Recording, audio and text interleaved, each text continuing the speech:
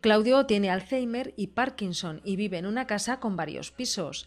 El día a día es muy complicado porque necesita ayuda para realizar cualquier movimiento. Su familia ha tenido que reformar la casa. Muy mal, porque solo para ducharlo por la mañana y estaba mucho mejor, era un trauma. Para él y para mí me costaba muchísimo, mucho.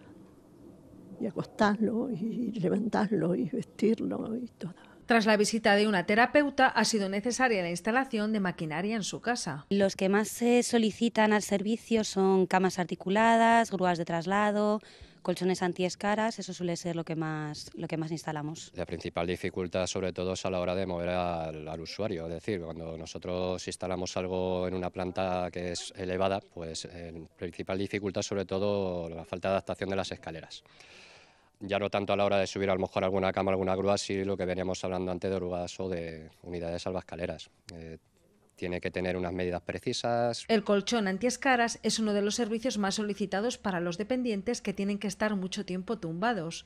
Cada año toda la maquinaria pasa una revisión. El servicio cuenta con una revisión anual para comprobar que todas las ayudas eh, funcionan correctamente durante, durante el tiempo que la tienen en el domicilio y las averías que puedan surgir de eh, mecánicas, sobre todo de, de las ayudas, las cubre también la Junta las reparaciones o, los cambios, las sustituciones que se, puedan, que se puedan dar. En muchos casos, sin la ayuda de estos aparatos, sería imposible el día a día. Simplemente si se hace piso, si se hace caca y está en el sillón, hay que llevarlo a la cama para cambiarle.